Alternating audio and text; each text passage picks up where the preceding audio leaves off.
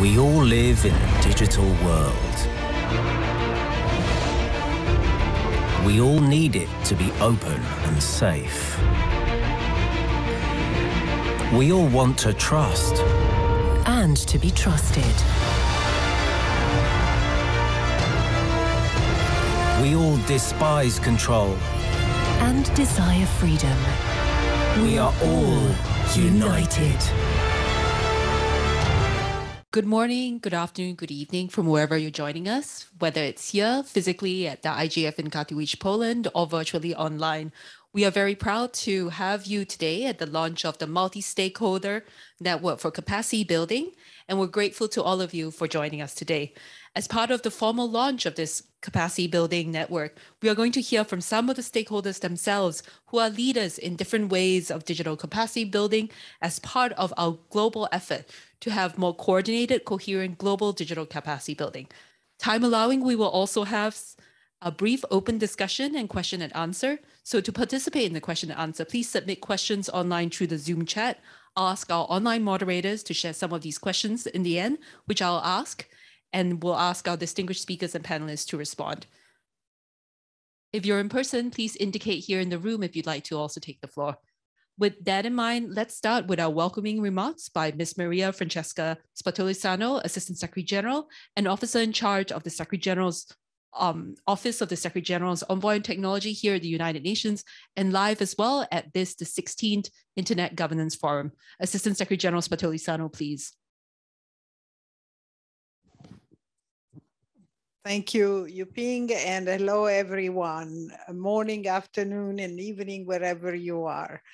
It is my pleasure to welcome you all to our session on strengthening global capacity development, organized indeed by the Office of the Secretary General Envoy on Technology, together with the ITU, the International Telecommunication Union, and UNDP, the UN Development Program. As COVID-19 changes and challenges the world, the importance of building capacity for digital transformation has become ever more urgent. Working and learning are no longer the same. We all have experienced that we went online. Uh, efforts uh, to sustain education, health, jobs, and the economy during the COVID 19 pandemic suggest new ways that we can and we must reimagine our society for a post pandemic world with digital technologies pervasively. But throughout the pandemic, we have also witnessed how global inequalities can be exacerbated by the digital divide, which is uh, not only due to a lack of connectivity, but also gaps in building digital capacity. These divides will only worsen between and among countries if the gaps between the digital have and the have nots are not addressed. Simply having connectivity is not enough. Underserved populations will need digital skills, knowledge skills, literacy, capacity to fully and meaningfully leverage the transformational power of digital technologies in their lives. The Secretary General's roadmap uh, for digital cooperation thus lays out concrete action oriented steps for narrowing the digital divides and strengthening global digital capacity building. This is urgently needed, in particular to achieve also the Sustainable Development Goals and build the open, free, and secure digital future for all envisioned in the Global Digital Compact to come in September next year. But today, in fulfillment of one of the roadmap's recommendations, we are very pleased to announce the launch of our multi-stakeholder network on digital capacity development, or MSN for brevity, through dedicated efforts by ITU and UNDP. I really have uh, to give them uh, tribute. The co-champions of our roundtable on digital capacity building, we have been engaging a broad range of cross-sector stakeholders to better understand the landscape of digital capacity initiatives and then to design the multi-stakeholder network on digital capacity development. The network builds on an existing online database featuring over 100 digital capacity development providers and will also contain additional information on global resources presented in a user-friendly uh, format. Most importantly, it will provide a what we call a clearinghouse function powered by a new ITU UNDP joint facility to help direct specific requests for support to potential providers of digital capacity building initiatives, training, but not only. And you will hear all the details in a minute. I would like to invite you all to join our efforts as we work to expand the MSN to provide more tailored and impact-oriented digital capacity building support for all. Let me end by thanking again and congratulating ITU and UNDP and the others who have already confirmed their readiness to be part of this network so that we can collectively join hands with all those users we wish will benefit from this platform. I thank you. Thank you so much, ASG Spatolisano. We now call upon Ms. Doreen Bogdan Martin, Director of Telecommunication Development Bureau at ITU. Thank you so much, uh, Yu Ping, Assistant Secretary General. It's, um, it's great to be here uh, and to welcome you to this session on strengthening global digital capacity development and to share a bit more with this community on the multi-stakeholder network on digital capacity development. I think uh, also Yu Ping, we have had this morning, yesterday, and of course Monday on day zero, opportunities to dive into the different barriers around connectivity from the affordability piece, the um, trust piece, the security piece, the gender piece, the youth piece. And now we're going to dive into something that, that we think will help when we talk about um, the capacity, the digital capacity gap. Um, so this multi-stakeholder network is something that was built actually with many of you. Again, very grateful that uh, so many of you have joined us in, in the process. The network is an outcome of the Digital Cooperation Roadmap. Uh, we've co-championed this exercise with our partners, uh, UNDP, and of course, Robert Opp is, is here with us as well today. And its intention is really to, um, as part of the, the roadmap follow up, to implement the key actions around capacity building uh, that were, were annotated in the digital cooperation roadmap. Um, new data, and I've mentioned this a couple times this week, but um, I think everyone has followed the data that we launched last week about this connectivity boost that was caused by COVID that brought an additional 800 million more people online uh, and I, I've been focusing on the, the sort of bad news piece that 2.9 billion remain totally offline, that they've never ever used the internet. And of course, within that, the biggest challenge is with least developed countries in particular, where the vast connectivity divide remains with almost, it's about one in four people connected. And of course, in a handful of countries, we see um, penetration rates where we have one in 10 people actually connected. So much work to be done in that space. And of course, the majority of those that we consider digitally excluded actually face formidable challenges in capacity development. So from the lack of digital literacy, digital skills, even awareness of the, the, the, uh, the many opportunities that the internet provides. So of course, changing this picture demands innovation, innovative new ways of working, and of course, concerted efforts on many fronts. I think everyone has something unique and valuable to bring to the table. And that's why uh, we have taken this approach to integrate a wide range of perspectives and try to pool our strengths. Uh, by doing so, we believe that we can empower ourselves to truly make a difference. This principle has been central to our work with the multi-stakeholder um, roundtable approach, uh, supported, as I mentioned, by UNDP and of course the, the Office of, uh, of the Tech Envoy.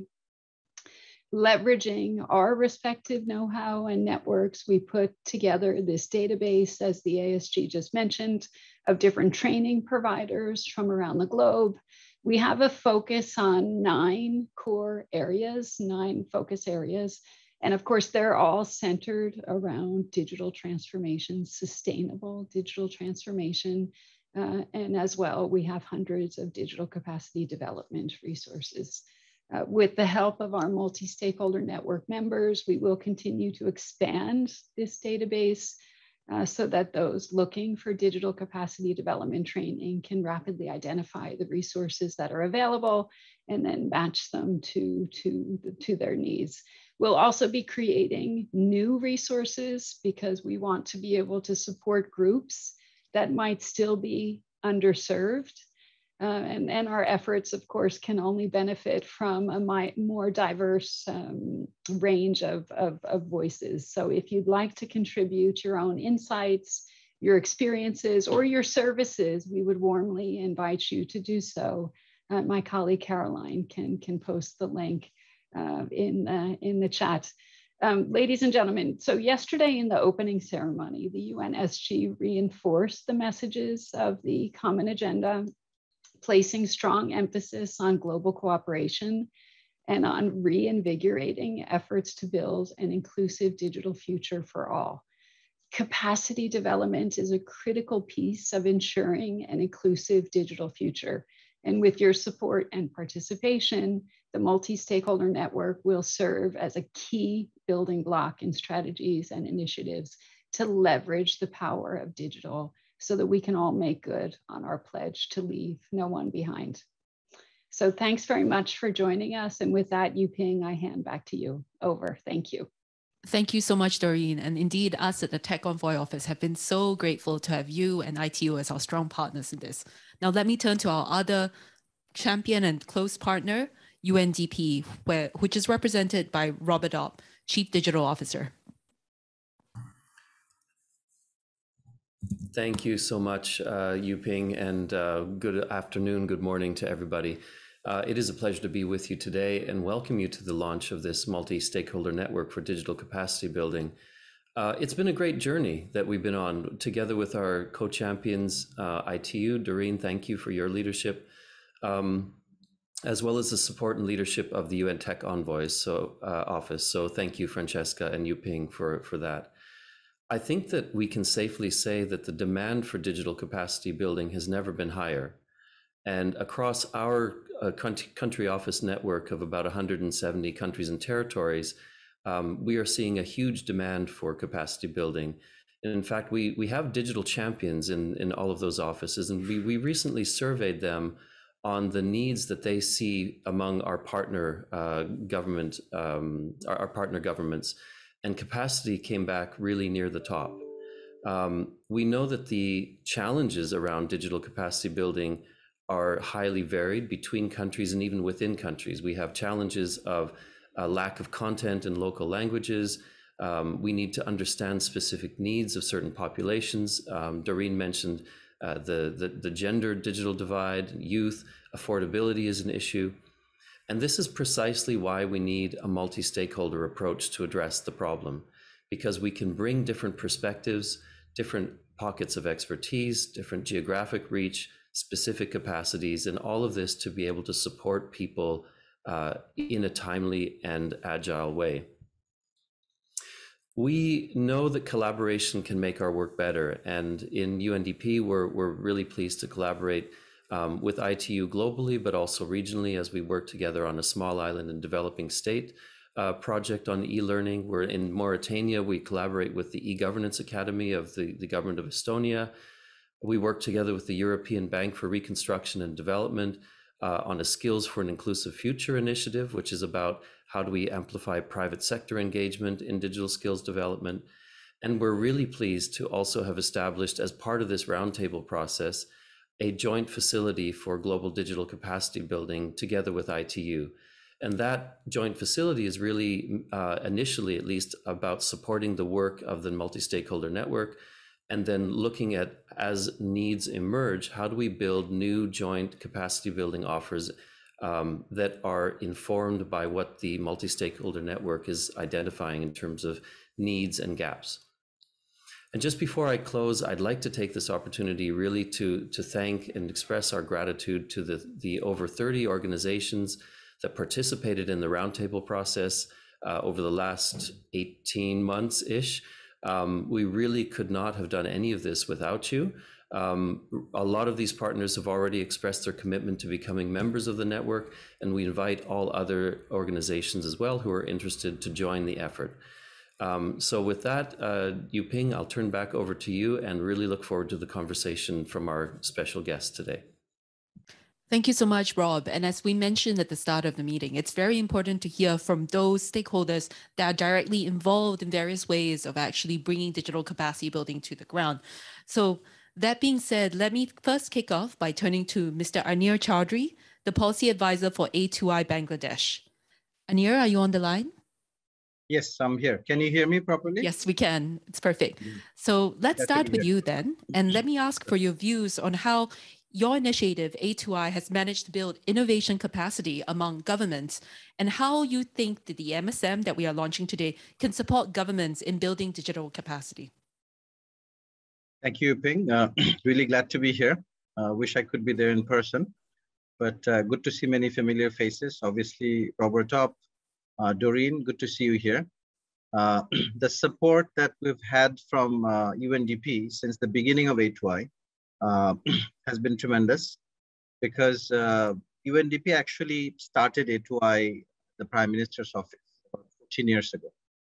Uh, and then the Digital Bangladesh clarion call from Prime Minister uh, made it why sort of the flagship uh, steering uh, program for building digital. And capacity building was really at the heart of it. Uh, capacity building of the government officials. ITU has played a very important role in that uh, in two ways. One, in terms of strategically guiding the government to develop connectivity across the entire country. And second is inspiring many of the initiatives uh, that we have launched uh, over the years uh, with the WSIS Awards. So thank you, Doreen, for the encouragement over the years. Uh, since 2014, I think we've had uh, multiple awards every year. Thank you for that. So ITU and UNDP have been at the forefront of what we have done in Bangladesh. So I should probably mention that Bangladesh, when we started out, really was not a digital country. 2007, we had less than 1% internet connectivity. Uh, in terms of digital services, we had less than 10. Uh, now we have over 1,500. And in terms of access to digital services, uh, that was also lacking because obviously internet penetration was less than 1% and we had no assisted access. So what we did uh, with uh, the then UNDP administrator, Helen Clark, was visiting Bangladesh in 2010, launched uh, at that time 4,500 uh, rural, uh, what, what are called digital centers, which are basically the bridge between analog citizens and digital world of service. So they could go there and access services by paying a small fee. These centers, uh, which number now in 8,000 plus, are within a few kilometers of walking distance in almost every citizen country, except for some hilly areas and coastal areas. Uh, so in terms of capacity development, these digital centers actually create a, a fertile ground for innovation because uh, ministries and directorates can decentralize their services to these digital centers. We have nearly about 300 services that are delivered from these digital centers. Over the last uh, 10, 11 years, we have uh, delivered 750 million services from these digital centers. So it's a large number of services that we have developed from delivered from these centers. Every month, about 6 million people visit the center. So that's one capacity development of the, of the civil service that they can decentralize their services to the digital centers. So we call these digital centers part of our policy Legos. Essentially, these are components of innovation that are stitched together to build new innovation. I'll give you a couple more other examples so that there is a decision support system within the government, which is now being used by about 11,000 offices. And uh, the way this works is uh, each ministry can build their innovation on top of this decision support system. This gives you a foundational stack on which to build new services. And several hundred services have been built on top of this, uh, which is called e-filing. Government. We also have a national portal, uh, which now covers about 50,000 offices of the government. Again, another building block that is used by different uh, offices to build new digital services. The last two things I would like to point out is that from the point of assisted access, from the point of view of uh, building these uh, digital uh, building blocks and creating new service on top of it, we're also focusing on what is called empathy training, which is a design thinking process for thousands of civil servants who actually go through a citizen's view of service delivery process. They actually go through a citizen's journey and understand what is not working. And they actually redesign services based on that. They simplify services. We have actually had many ministries simplify uh, about 700 plus services uh, before they digitize them. So a combination of these policy Legos, the assisted access, the digital centers, and the capacity development process that we have uh, within the government in terms of understanding citizens' perspective, uh, combining these policy Legos and creating new innovations is the, the whole innovation ecosystem, innovation culture nurture in the last uh, 12, 13 years. And that's where I, uh, UNDP and ITU have played a very, very important in terms of MSN that is being launched today, I think uh, some of the lessons that we have learned over the years could potentially uh, serve as uh, uh, probably starting points or further lessons for other countries. But at the same time, Bangladesh is always looking for lessons from other countries instead of reinventing the wheel. So we're really looking forward to this network and uh, learning uh, from members of this network new innovations, new approaches to building that culture of innovation. Thank you very much. Thank you so much, Anir. And I think that is really a good example of how ITU and UNDP expertise can really serve countries on the ground and directly. We now turn to Bjorn Richter, who is the head of sector programming at GIZ, who is joining us online. Bjorn, I see you online. Um, GIZ has established, for instance, um, a learning platform, Atingi, as part of the global project Africa Cloud to provide digital skill trainings. How do you see opportunities for partnership to scale this work, perhaps via the MSN? Bjorn? Yes, um, thank you very much for having us, and thanks for the uh, the great opportunity to also uh, join the MSN community. Um, as we, as Rob uh, and Doreen already laid down, I think it's a, it's a great uh, partnership that uh, grows by sharing it. Um, so uh, it's a lot when it comes to digital transformation. I think we have to appreciate that we can only answer the um, the the efforts or the the the, the challenges uh, in, a, in, a, joint manner and rather not in a separate manner. So um, just wanted to to to to, to contribute to this one. Um, looking um, precisely uh, in the area what Rob said, um, we have um, uh, 32 countries where we uh, um, where we have uh, so-called digital transformation centers as advisory uh, bodies um, to the digital ministers and to regulatory authorities up and running.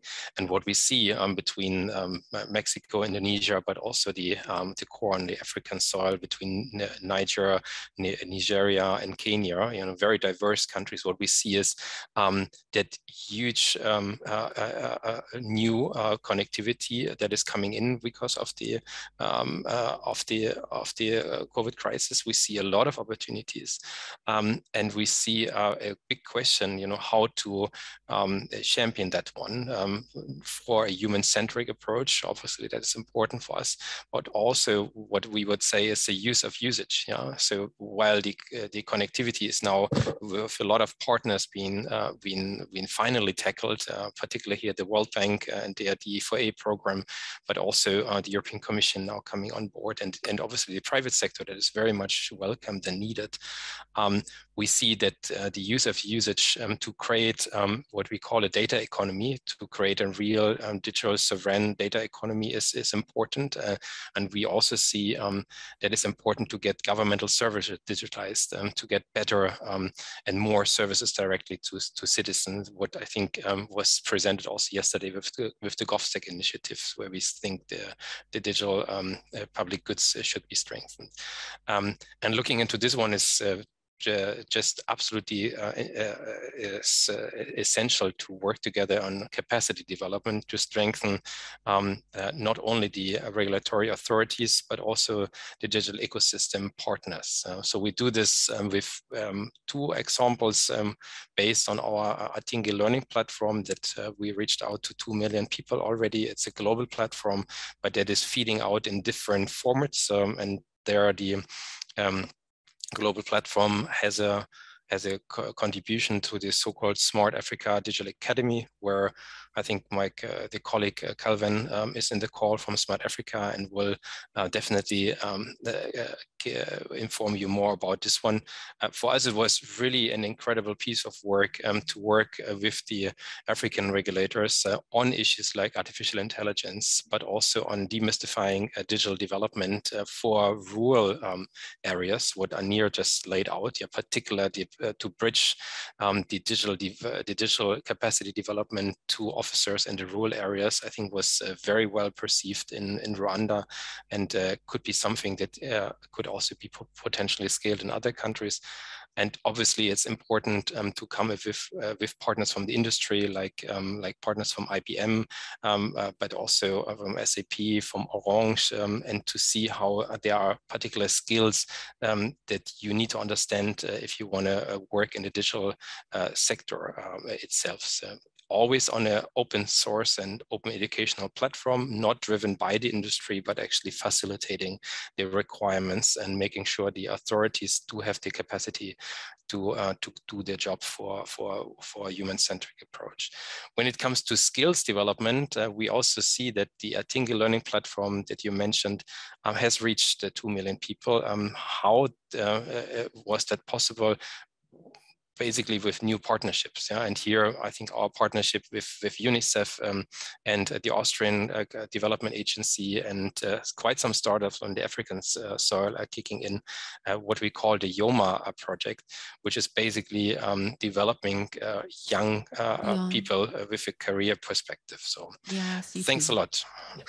I didn't mean to cut you off, and I'm so sorry. And, and, all the work that you're talking about is terribly important. We just have a number of other speakers. And here, I also really want to pick up on your point about open source and the GIZ and GovStack initiative, where I believe ITU is also a partner. We also have a have Kate from Dial to also speak on the importance of that. So thank you so much for that perspective. And we really do look forward to leveraging on your work and GIZ's very important role as part of the network. Now, let me turn to Tereza. Um, for Tereza Horejsova, who is Director of Project Development and Partnerships at Diplo Foundation and Geneva Internet Platform. Tereza, Diplo and the Geneva Internet Platform have actually been working in this area of um, supporting small and developing countries through targeted trainings in digital policy for quite a while. Where do you see the biggest challenges based on your experiences, and how do you think the multi stakeholder network can address some of these? Well, thank you very much, Yuping, and thank you definitely to session organizers for allowing me to be part of this conversation. So um, I will prefer not to talk about Diplo and our work, but maybe um, just to share some inputs about how I see uh, these efforts. So uh, first of all, I really wanted to congratulate uh, the champions that um, you have managed uh, to certainly kind of raise the political attention that was given to capacity building and capacity development uh, in digital policy, especially in the framework of the roadmap uh, for digital cooperation. So, so that's, that's excellent. Now I will be a little bit more uh, frank. So I think that creating the database, which is a starting point, as we have heard, that is trying kind of to match the demand and supply, it's a, it's a very important uh, endeavor. However, I am convinced that this is simply not enough. This will not make the cut in uh, solving or contributing uh, to, uh, to having less issues that we are experiencing in uh, digital uh, capacity building. The roadmap provided kind of a framework that we should create a broad multi-stakeholder network that should be promoting holistic, inclusive uh, approaches to digital capacity building for sustainable development we are not there yet, uh, I am afraid. Now, why uh, do I think it? And this is really based on the experience that Diplo has made in providing capacity building programs for developing countries uh, in particular. These countries do not have sufficient capacity to meaningfully involve or get included in the global uh, policy processes. And uh, to change this, they need very targeted and tailored support. They need individualized guidance in this respect in the process. And these challenges will not be solved that the kind of demand and supply will be matched. It will not be solved by uh, them using a database and knowing who are the providers of possible capacity building programs uh, in their area. So um, that's one point. Another point I would like to raise at, is that this is also not the first effort or attempt uh, to kind of map uh, capacity building. And um, I would really appreciate, and I can see even in the lineup of this session that this is the case, that uh, there are more stakeholders that have experience with this matchmaking or clearinghouse uh, function that are really, really involved in this exercise and that we built on their expertise. Uh, one example uh, can definitely be uh, the Global Forum on, on cyber uh, expertise. So like being very practical, what would I suggest we do next, you know, after, after creating this first step is to really uh, take this as an only starting point because much more uh, need to be, needs to be done. It would be excellent if the political of weight of the, of the UN uh, can be really used in trying to mobilize more resources for capacity building support, because this will be the problem for many developing countries. And we do need to talk about resources for capacity building programs. I would also again strongly suggest to work with experienced providers who can provide neutral and tailored uh, capacity building programs. And also I would like to urge us to really think about impact uh, that these, uh, these programs are having because very often uh, kind of the impact uh, is bigger if we work on a smaller scale and do not just worry about, uh, about big numbers, let's say, of individuals trained. So with this, I will probably stop. Sorry to be a little bit more provocative, but I hope this will contribute to good discussion at the end of the session. Thank you, Yuping. Over to you. I have to say that kind of candor and honesty is what we really need to make real progress. And that you are right. The roadmap was a start. The network itself is a start of a process that's much bigger and larger than all of us. But it is precisely that using the convening power of the United Nations, ITU and UNDP, and all of you together that we will make that kind of progress and answer those questions and conundrums that you yourself have raised. Our next speaker is going to be Calvin Nangwe, who is project manager for skills development and capacity building at Smart Africa, also joining us online. Smart Africa, Calvin has launched the Smart Africa Digital Academy. What critical skills gaps does SADA address and how? And what demands for capacity building are you seeing in the African region? And how do you think we at the United Nations and through the MSN could be useful in further scaling up the work and the job offer, the offers that you are making through SADA? Kelvin, please.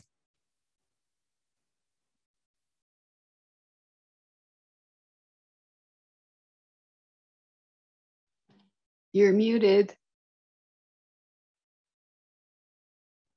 Uh, sorry about that. Yeah. So thank you very much for the opportunity provided to Smart Africa to join the MSN and we congratulate the ITU and UNDP uh, for this commendable roadmap. Africa is the world's second most populous continent after Asia with more than 1.3 billion people and with the youngest population among all the continents. So our challenge is that by 2030, 230 million jobs available today uh, to, young, I mean, to the young generation of today will require digital skills.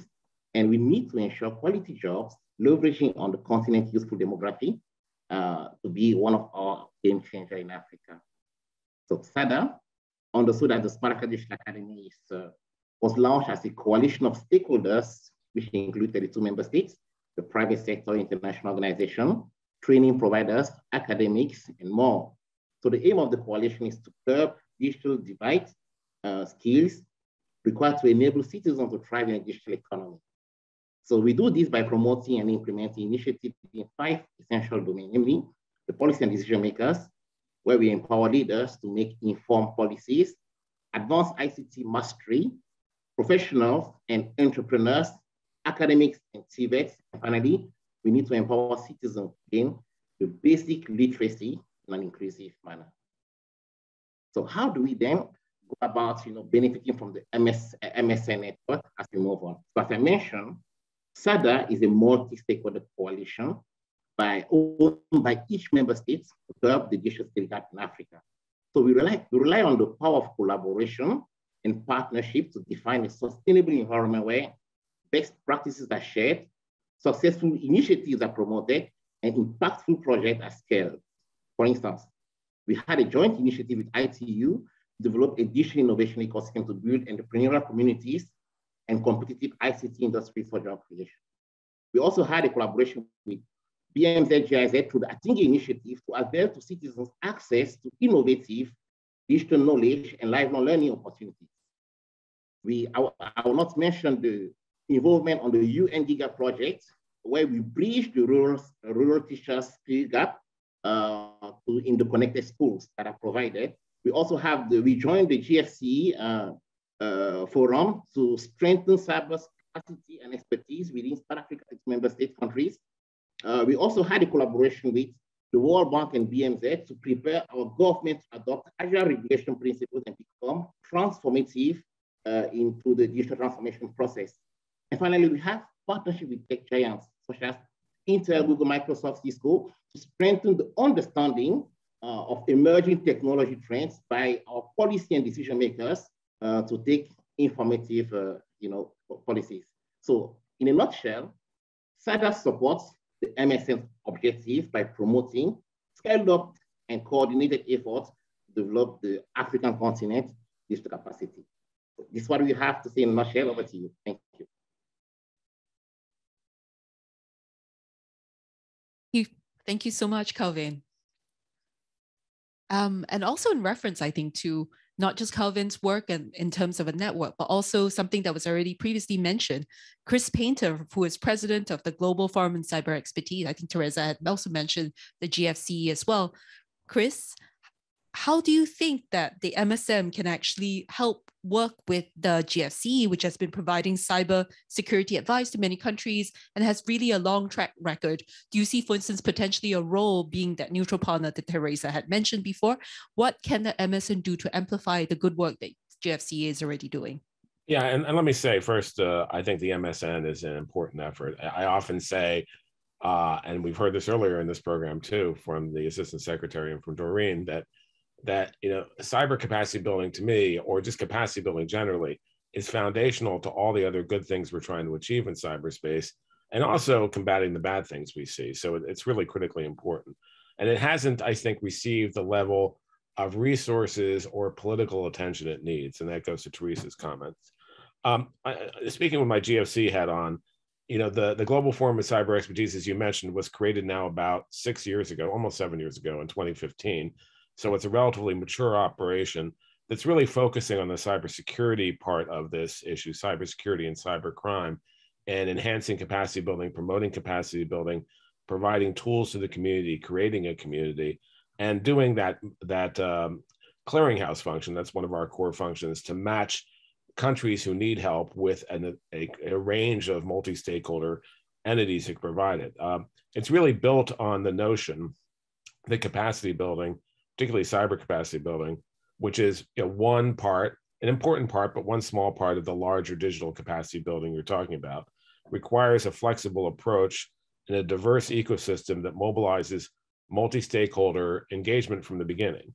Uh, and, and that's been affirmed in our founding document, something called the Delhi Communique. We now have 154 members and partners, including 55 UN member states and a number of UN bodies, including we've worked with the ITU and UNDP as well.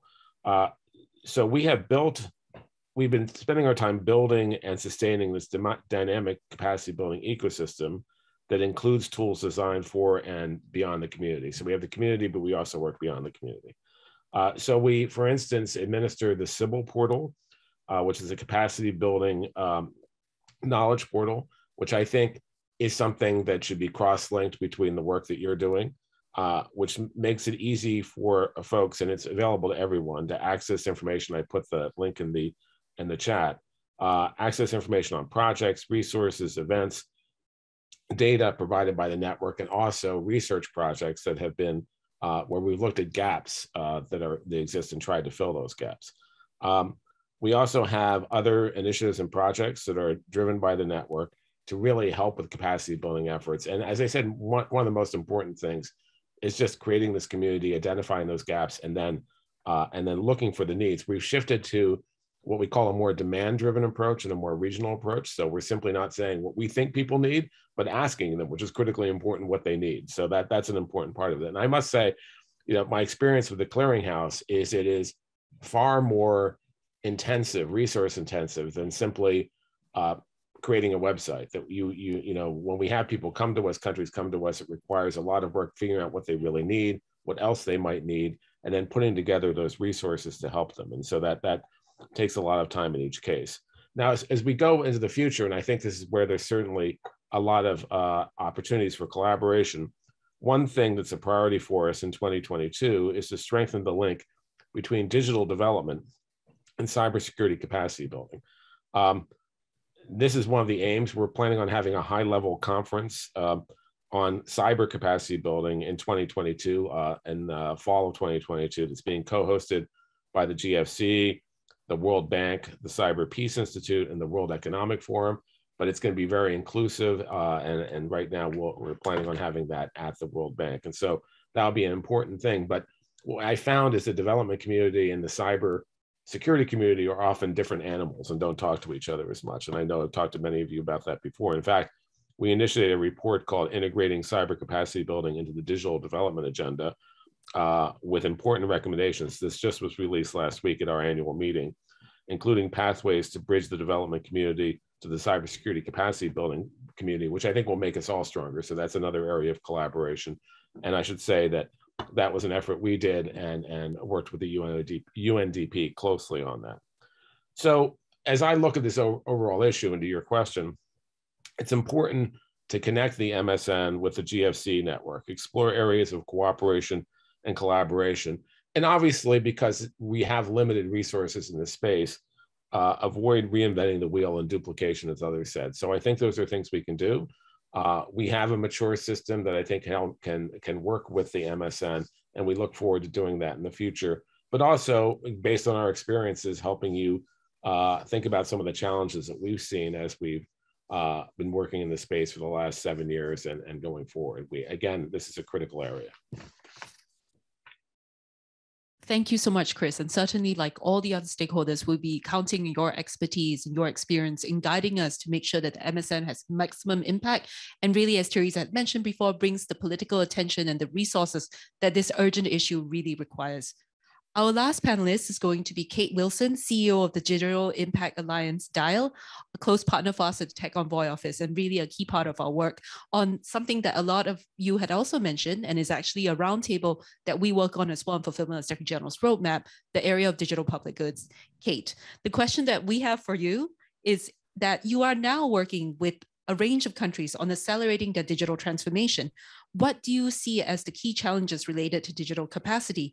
And if you could choose one indicator of success for the MSN, what would it be? And how would we really look at progress going forward? Thank you so much. Um, I really want to thank uh, the Assistant Secretary General, um, you yourself, Yuping, Robert, and Doreen for your leadership. I think that your efforts to actually pull together all of these capacity efforts across all the partners who are working on this um, is so critical. And as Tereza said, it's it's not enough, but it's an excellent place to start. And I know that we have a lot more to do together. Um, I wanted to, you know, keying off of your question, but also pick up on some of the comments that have been made by colleagues. Um, sort of point out, I think, some areas where you know, we talk about capacity as this quite large thing, but I think that there's some very specific types of capacity, some of which, you know, Chris just touched on in terms of cyber or has been touched on in terms of direct uh, logical support. But let's talk about what are countries really struggling with on the ground. We actually have a team who just left Sierra Leone yesterday, uh, and they were last week leading um, work with the government to do training in the principles for digital development, which is a set of heuristics, um, which has been agreed to by 300 organizations across uh, the global development system. And they did that to underpin how they were then going to work on their enterprise architecture. And that work done in partnership with our colleagues at Smart Africa and close partners there and the ministry uh, in the Ministry of ICT in Sierra Leone really sort of highlights you know what countries are looking for. So first, they're thinking about, you know, how do I help create better digital choosers? How am I identifying what information I should be doing? What are some best practices that are common across technology? And then how do I underpin that with the deep training and expertise in setting out the systems that are really going to guide kind of our whole of government or whole of society approach? And that ties in, um, as Bjorn said, to some of the GovStack initiative and work that we're doing. So after they've started to choose and understand that, they then need to be able to identify where that technology or those building blocks fit. And one of the uh, places that we're then emphasizing is sort of the catalog of proven solutions, which allows people to highlight what and identify what technology already exists so they can easily find it. I'm pleased to say that in cooperation with the ITU and UNDP, we're actually linking the MSN network, this capacity building, with the technology building blocks themselves so that you can both find what you're looking for, but then also find people who can help link that. And I think that's a critical combination between. The third thing that I think countries are really looking for is, um, as many of the speakers have highlighted, is all the things on the soft side. When I've worked with countries, they've generally have asked me for, you know, can you help me? I know perfectly well how to identify my, you know, information systems. I need help advocating for policy change. I need help with advocating for new financing for capacity. I need help with building out my middle management track of people. And so we sometimes use capacity as this broad thing and teaching people how to use the technology, when in reality, we often have amazing technologists on the ground who are already there who really need to understand how do I do policy advocacy, how do I do financing advocacy, how do I mobilize the resources to make sure that this effort lasts. And so I think as we begin this journey together with the launch of the MSN roadmap that we really start to do that. So your question was directly, how do we think about an indicator or metrics for that? So my main indicator would be that anyone, anywhere in the world who is beginning to identify new information systems for their governments um, or for their societies as a whole actually has access to uh, the technology products that are easily available, the capacity to use them, and through GovStack, hopefully has the reference implementations to identify how to do this more effectively and efficiently.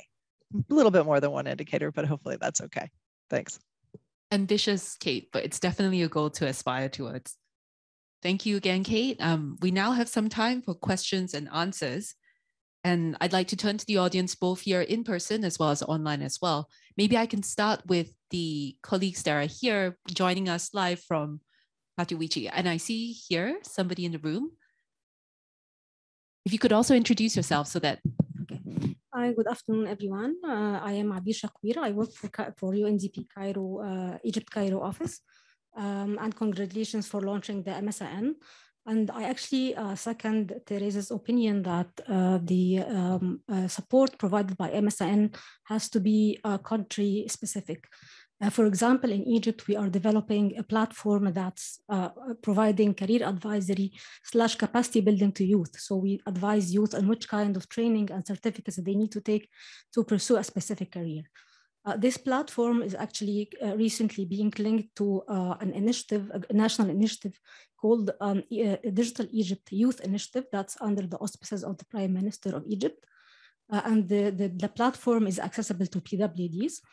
Um, and uh, we are providing some of uh, free training uh, when we have funds, of course. Um, and recently we did some, some training with Amazon and uh, with Cisco. But actually, on the long term, if we do not have fund, the, the, the platform will not really uh, be as effective as it should be. So I'm wondering what uh, the, the, the network can provide us, how, how can it support in such cases? Thank you. Thank you so much. A very concrete question, and hopefully we can have some concrete answers. Can I turn to the panelists and perhaps maybe ITU or UNDP, Rob, Doreen, might want to kick us, kick us off? You Yuping, can I, so can I jump in and, yes. and I'm going to throw it to, to Robert because I was actually thinking that uh, our joint facility that he referenced is perhaps the answer to the question by putting together this joint facility, which pools ITU, uh, UNDP, and other resources, it's intended to actually support countries, in particular the resident coordinators. If they have a request, they can come to us, and then using this joint facility, we can help support them um, with less budgetary challenges. But I'd ask Robert to perhaps uh, supplement if I can pass to him. Yeah, no, thanks, uh, Doreen, and thanks for the question. I think um, this is exactly what you said, Doreen, but also to pull something from what Chris was saying about uh, in the chat about making sure that we make use of existing capacities first. So I think the first protocol for for the multi-stakeholder network would be to look at okay who's got you know arab language skills? Who has got capacity to work with youth? Who can you know the the kinds of things that are being looked for um, and then if there are existing capacities that are that can be made available that's great. Um, if but if there are not and we identify a gap then that's something that poss- possibly can be done by for example the joint facility or finding another partner who might be able to step into that gap without kind of an existing um, service there. So i think it's a it's a combination of those things together. Thank you so much, Rob. Um, can I see if there's anybody else in the room here who might like to? Um, I see a gentleman. Hi, uh, my name is Asim Adil and I work for GIZ. Uh, uh, I don't have a question. I just wanted to refer back to your question uh, as John, uh, Björn Richter was there. So a Atingi platform also is a good learning management uh, solution. And there are a lot of courses available which Yazid is already focusing on Africa. Thank you. If we could turn to Bjorn. Yes, thanks. Thanks a lot um, for the uh, for the question and maybe also to link this to the um, colleague from Egypt. We do have a digital uh, governance program in Egypt, um, um, and that could be something um, we could have a look into. I don't know the detail of the platform, but um, from our experiences, one has to look beyond the platform, but rather, you know, what is the issue and how uh, existing platforms can be reused, you know, um, advocating one of the dial principles, you know, because the sustainable of in individual platform is from our experience is rather unique and needs to be then then see how, how we could recycle uh, or re reuse already existing uh, materials for the thing you want to need. But yes, um, um, um, the GIZ colleagues in, in Egypt uh, could come in handy. When it comes to the um, the Atingi platform, uh, we we work with online, uh, but also blended learning. Uh, um, so uh, online only there are um, tutors and there are um, uh, web-based trainings um, that also get certificates online only. Um, and when it comes to in blended learning, we link this to our so-called digital transformation centers or the partners like UNICEF or um, uh, YOMA using the platform um, and then endorsing this, uh, the platform with offline certificates. So um, that's absolutely enshrined, um, but um, that depends to what kind of courses uh, you're looking for. We currently have around 400 courses on the platform and some have agriculture background, some have digital background. It depends, uh, again, it's a platform and it depends what kind of target group you want to look into, but nothing comes uh, uh, uh with un, un, unguided system, but quite often with online only manual, because we believe this is something, um, particularly in the COVID times, that, that can, can make a difference in rural areas where we believe there's the most effects of this kind of platforms. And yes, there's also a link to um, uh, access opportunities to offline services uh, that the platform is providing with Raspberry Pis and other technical gadgets um, that brings us um, to already underserved uh, uh communities. Thank you. Um, I believe Chris might want to say something and then Rob very quickly before we turn to a question online from Mei Lin.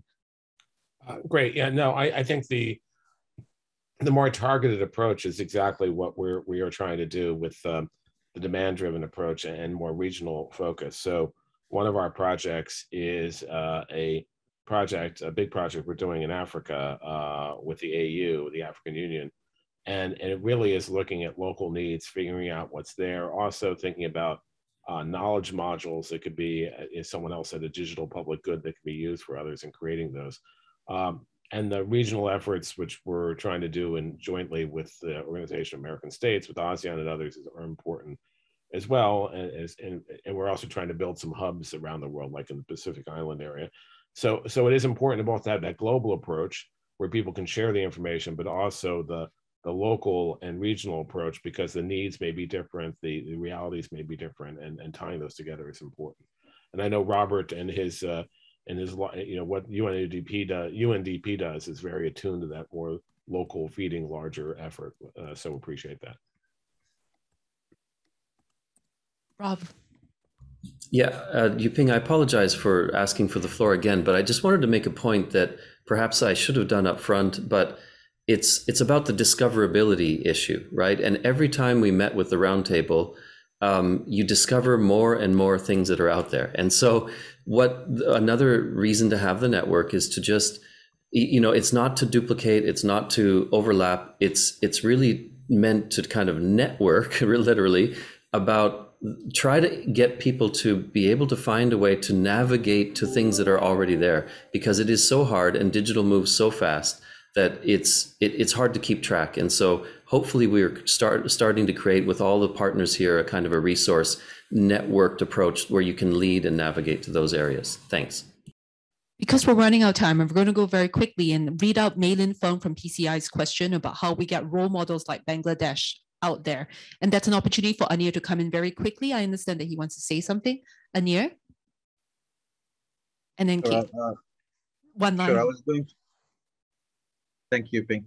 Uh, I was going to actually uh, mention something that UNDP has started working on uh, create uh, open source uh, training content for, for, civil service based on something that the New York University GovLab has actually produced. And uh, the GovLab team uh, with Professor Beth Noveck and, others actually produced something quite interesting. It's focused on solving public problems. There is a digitization aspect to it, but it's really about how you look at a problem, and how you partner with the private sector, how you create evidence, uh, how you understand the citizens' needs, and then develop content.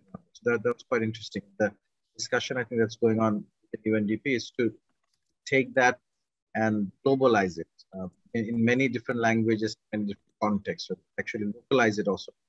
I'm going to point, point that out. In the case of Bangladesh, uh, we're very interested in looking at that content and use it in our context. But if I may just take 30 seconds to, uh, to say what we have done in Bangladesh. Again, a lot of support and guidance from UNDP and ITU over the years, but a lot of uh, failing and learning from failures uh, in Bangladesh deliberately.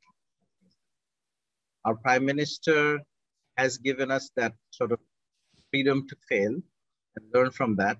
I think that political will, I think a lot of uh, the, the panelists talked about, political will is actually important.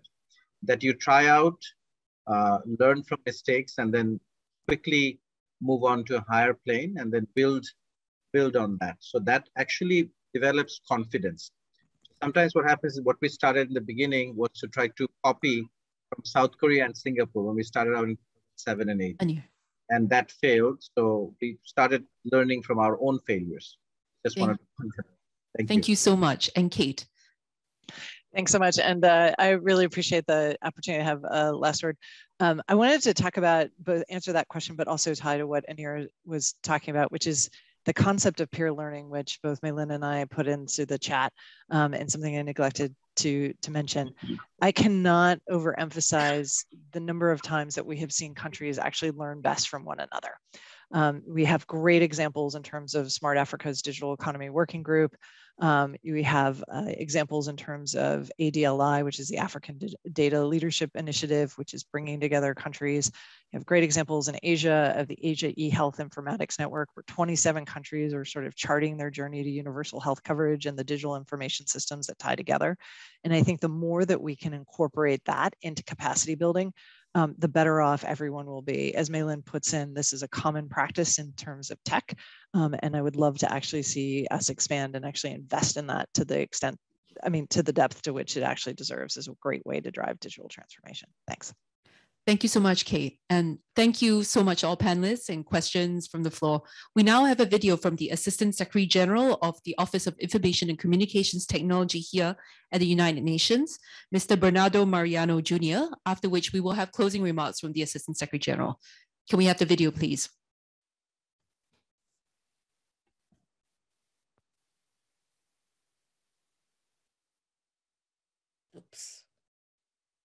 It doesn't seem that there's sound under the video.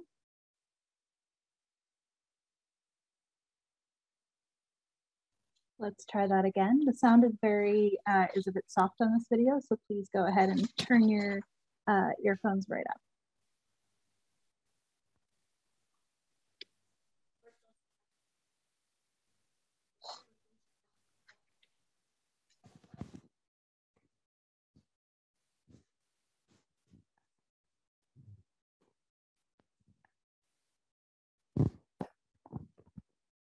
All right, we will start that again to, to be able to give him the, the full attention he deserves. The time is the charm. exactly. I think this is the lesson of what happens if you go over your time.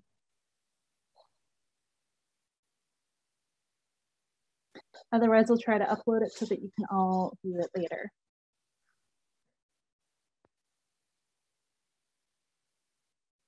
All right.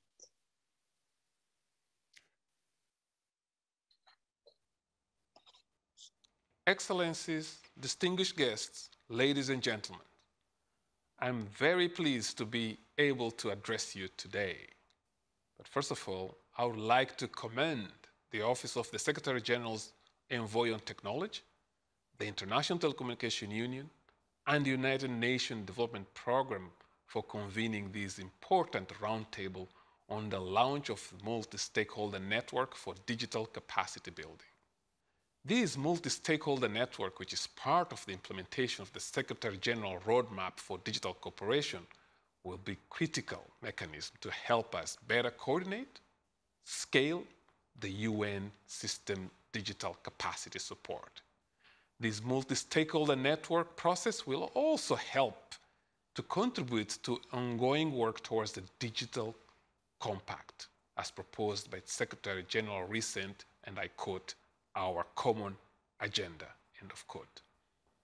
My office, the United Nations Office of In Information and Communication Technology, is committed to support the Secretary General roadmap for digital cooperation and the multi-stakeholder network through various initiatives that are aiming at strengthening our role of technology provision enabler and orchestrator for multiple UN entities as well as being responsible for technology support to the Secretary General Data Strategy, my office, in cooperation with the Secretary General's Envoy on Technology, establishing an open source program.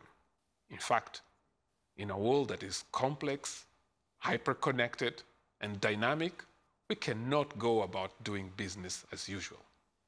The UN Charter principles of equality, unity, collaboration, inclusivity, and respect of diversity embodies a strong drive towards open source culture in our organization and in our member states.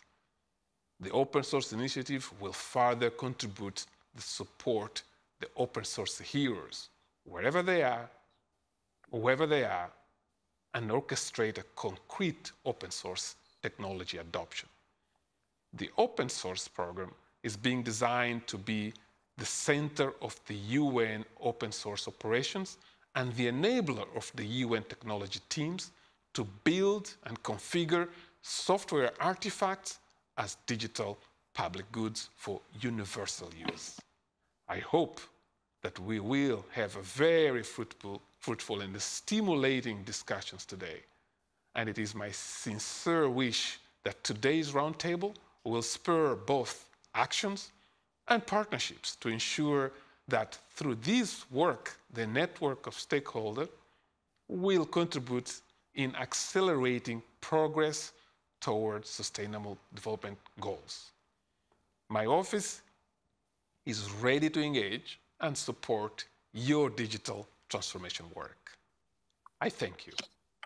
Thank you, Bernardo. And for closing words now, and with thanks to everyone and our stellar panelists and all of you for being here today, Assistant Secretary General to close the meeting. just a few words. I would like to say, first of all, thank you, of course, to all of you. And in particular, that I'm very encouraged by the concrete examples I've heard uh, from all our uh, roadmap partners who are contributing. Uh, the aim, as we all understand, is bridging the digital divide. Now, the second point is, of course, this is not the only way. This is a tool, this is a network, this is a, a useful in the starting point to know what's out there and to match what uh, the demand and the offer can be. I would say maybe less elegantly than uh, Rob already said, he said we, it helps us to navigate. I would say it also helps us to avoid reinventing the wheel. There are programs out there. There are many, many informations uh, that you can find on this uh, network on this clearinghouse. If, if you take the, the time to uh, you know, navigate it and, uh, and find what you need if it is already available, you will have spared yourself a lot of uh, uh other time you would need to build a new program which does exactly the same thing which is already available in, through this clearinghouse. And third and last point, I really renew the invite to other service providers uh, to join uh, this platform with their uh, letting us know and, and um, adding their CB initiatives because the more this platform is rich and updated, the best it will serve its purpose for all the users. Thank you very much.